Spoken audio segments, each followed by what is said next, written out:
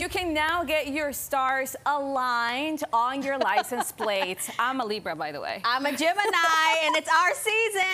The DMV releasing new designs of license plates featuring the 12 zodiac signs. Uh, each plate has an image of the star sign on the side and the moon's phases across the bottom. Now, it costs $60 to purchase, plus an annual fee of $31. Now, you can apply online.